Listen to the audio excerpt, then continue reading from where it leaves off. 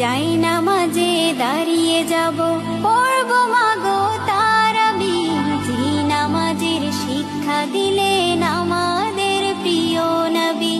যাই নামাজে মাঝে